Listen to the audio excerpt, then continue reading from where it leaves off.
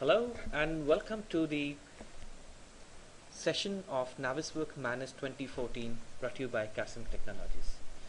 In today's session we are going to talk about some selection methods in Naviswork Manage 2014 and also we are going to cover the topics of how to hide and hide objects and as well as how to create section planes and section objects in Naviswork 2014. To start with, in this video we are going to talk about the select tools in Autodesk Naviswork Manage 2014. See, for selection in Naviswork Manage 2014 we have different tools which are available in the Home tab that is in the Select and Search panel of the Home tab of the ribbon. So you can see this selection tools that we are going to talk about. To start with the basic selection tool, we choose the select drop down and we see two types of selection tools which are available. First selection tool is a select tool. That's an obvious tool that is used for direct selection of object. We can directly select object from the drawing window. Select box tool is for the window selection where by which you can select by creating a window in the drawing.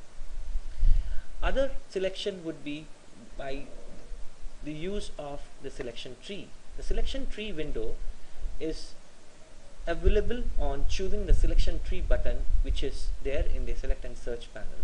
Once you choose the selection tree button, the selection tree window opens.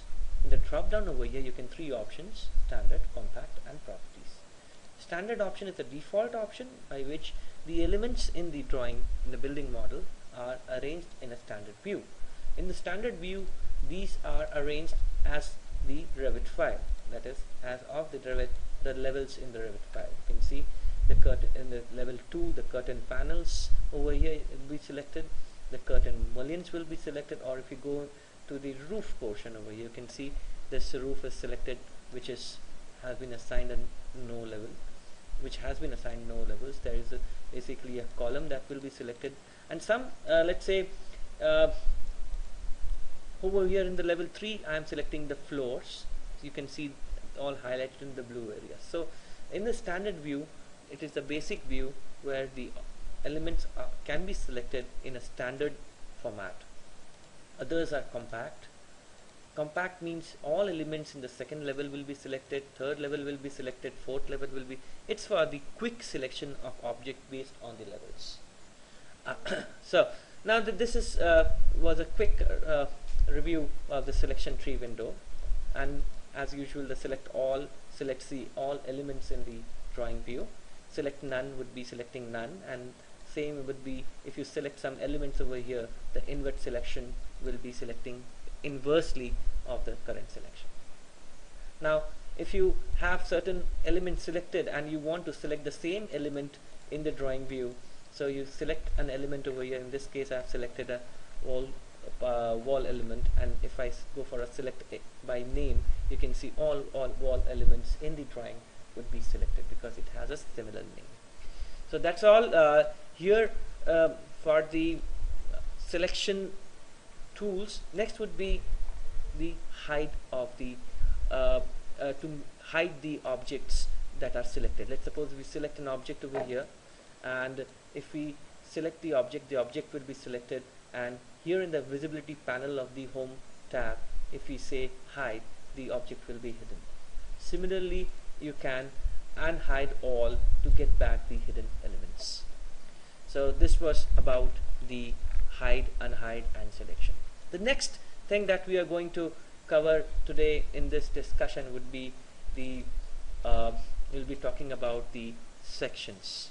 Sections uh, here you can see we have tra transited to the viewpoint tab from the home tab in the Autodesk Naviswork Manage 2014 and we find something over here uh, in the sectioning panel called the enable sectioning so the moment we choose this button this uh, uh, contextual tab that is sectioning tools tab will be displayed.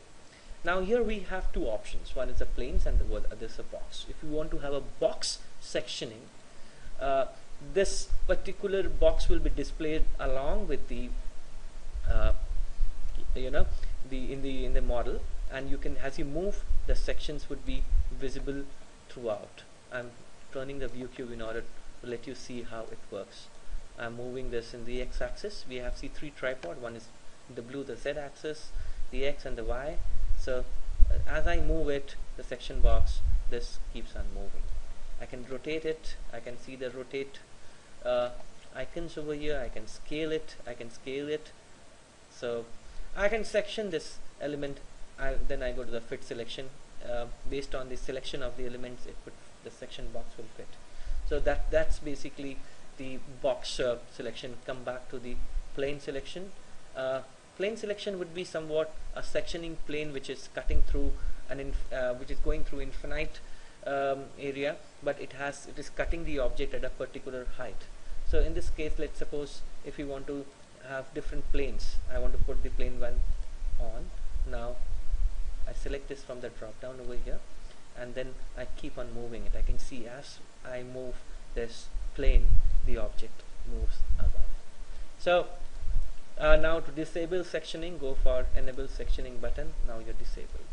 So hope you have enjoyed this small video on selection sectioning and hide and hide tools in Naviswork Manage 2014 thank you once again.